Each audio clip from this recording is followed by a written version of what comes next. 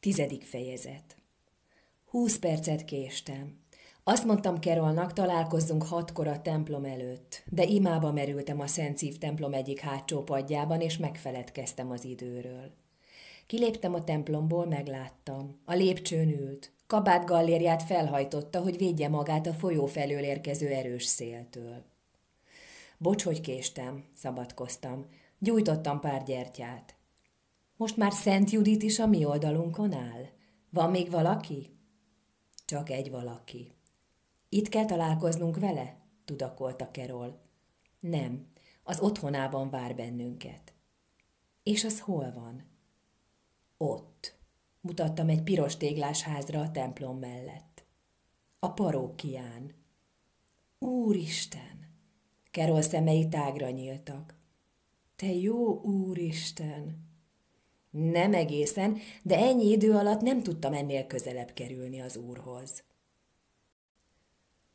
Bobby atya apró, könyvekkel zsúfolt első emeleti szobájában ült. Háta mögött résnyire nyitva volt az ablak. Rágyújtott, mélyen leszívta a füstöt, s az orrán keresztül fújta ki. Jobb kezében egy üveg pepszit tartott. Kerol keresztbetett lábbal ült vele szemben, a térdén könyökölt, állát kezébe támasztotta. Én a szoba sarkában az ablakmélyedésben foglaltam helyet, lenézhettem az iskola udvarra. Zsebretett kézzel ültem, a függöny a hátamat súrolta. Mi volt ma a bíróságon? kérdezte Bobby atya fáradtan. Mint egy boxmeccs első menete, mondtam. Még csak kostolgatják egymást. A srácok érdeklődött tovább. Úgy tűnt szeretnének valahol másút lenni, szólalt meg Kerol. Szerintem mindannyian így éreztünk. Húsz éve szolgálok ebben a közösségben. Bobby atya az üres üdítős üvegbe pöckölte a hamut.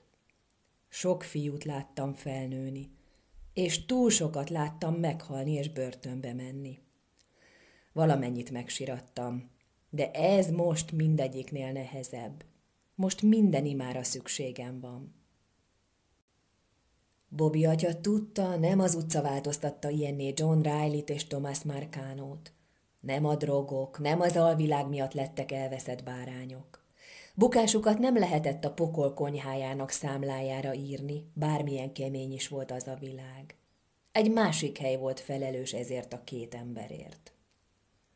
Mindent megtett, amit megtehetett atyám, néztem rá. Segített nekem, segített Michaelnak, ha maga nincs, ma mi is a bíróság előtt állnánk. Az elveszett bárány legkedvesebb, mélázott Bobby atya. Még nem késő, atyám. Közelebb léptem hozzá. Még van esély, hogy megkerülhet néhány elveszettnek hit bárány. Az utolsó esély. Törvényes ez az esély, szegezte nekem egyenesen a kérdést. Az utolsó esély sohasem az. King Benny áll mögötte. Benne van ő is, de nem ő a karmester. Hanem kicsoda, torpant meg. Michael. Bobby atya mély levegőt vett, előrehajolt. Van egy üveg italom az íróasztal középső fiókjában. Azt hiszem, szükségünk lesz rá. Mindent elmondtam Bobby atyának. Ha ő is részese lesz a történetnek, megérdemli, hogy tudja, mire vállalkozik. Ha nem vállalja, akkor is bíztam benne. Tudtam, soha senkinek nem adja tovább a hallottakat. Rájöhettem volna, nyugtázta az atya. Abban a pillanatban, hogy Michael elvállalta az ügyet, gondolhattam volna, hogy valami készül. A terv nagyon jó. Mikey mindenről gondoskodott. Minden oldalról védve van. Lendültem bele.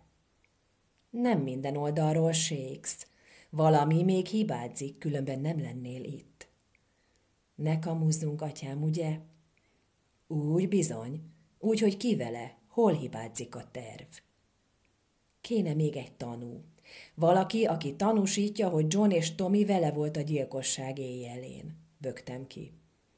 És gondoltad, egy pap erre pont tökéletes lesz. Nem akármilyen pap. Arra kérsz, hogy hazudjak egyszerűsítette le Bobby atya, hogy esküdjek meg Isten szent nevére, és hazudjak. Arra kérem, segítse meg két gyermekét, hogy ne kelljen életük hátralevő részét börtönben tölteni. Világítottam meg a másik oldalról. Ők ölték meg Noxt. Bementek abba a bárba, s lelőtték, ahogy az emberek mondják? kérdezte egyenesen. Igen, feleltem. Ők ölték meg, ahogy az emberek mondják. Bobby atya felállt, járkálni kezdett a kis szobában, és idegesen dörzsölte a lábát.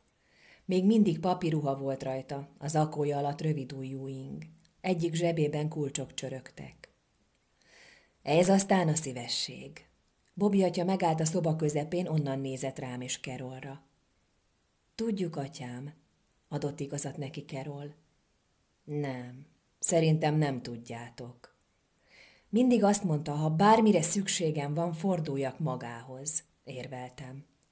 Hát én inkább csak arra gondoltam, hogy tudok jegyet szerezni a Yankees meccseire. Most nem jegyekre van szükség, atyám, hanem egy tanúra, erősítettem meg. Bobby atya kigombolta inge felső gombját, kihúzta a római gallért, s két kezébe fogta. Ez az életem, mondta, s felemelte a gallért. Nekem csak ez van.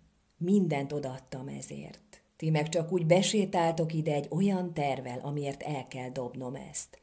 El kell dobnom, hogy két gyilkos szabadon járhasson kelhessen, hogy újra gyilkolhassanak, és úgy tesztek, mintha szívességet kérnétek.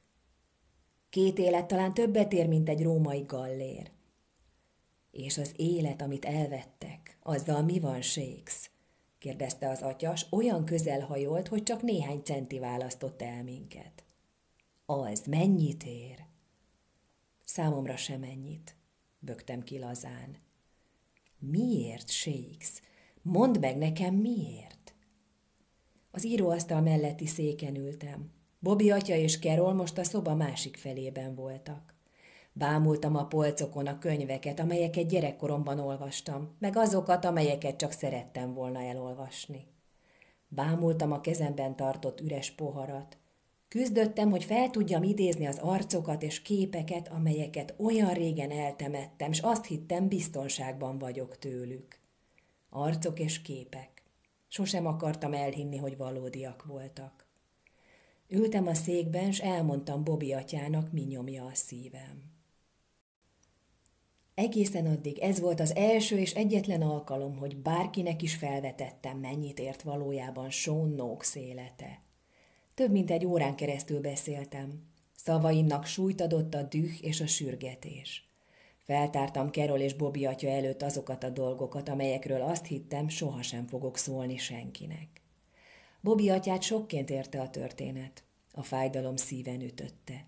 Kerol közel volt Michaelhoz és Johnhoz is – sok mindent sejtett, de a részletek őt is megdöbbentették.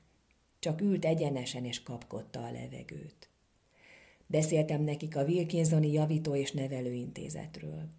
Beszéltem a kínzásokról, a verésekről, a megaláztatásról, arról, hogyan erőszakoltak meg bennünket. Beszéltem a halára rémült négy fiúról, akik úgy sírták magukat álomba, hogy Bobby atya istenéhez imádkoztak segítségért, amely nem érkezett meg. Beszéltem a végtelen éjszakákról, amikor a sötétségbe bámultunk. A sarkokban bujkáló patkányokról. Az árban csörögve elforduló kulcsokról. Egy felemelkedő gumibotról. Egy őr szorításáról. A sikolyokról. Mindent elmondtam nekik. Amikor befejeztem, Kerol halkan, szinte suttogva megkérdezte.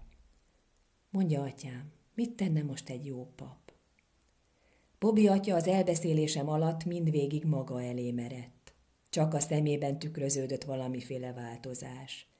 Kifújta a levegőt, a mennyezetre emelte a tekintetét, két kezét a szék karfájára helyezte. Későre jár, mondta végül. Induljatok lassan, fáradtnak tűntök mind a ketten. Felállt a karomra tette a kezét. Meg kell hoznom ezt a döntést. Imádkozni fogok, hogy helyesen határozzak. Bármit tesz atyám, az lesz a helyes, biztosítottam. A fiúknak igazuk volt veled kapcsolatban, mondta Kerolnak, s megölelte. Hogy-hogy? kérdezte Kerol. Mindig azt mondták, tökös lány vagy. Nem tévedtek. Ezt bóknak veszem, mosolygott Kerol. Különösen egy paptól.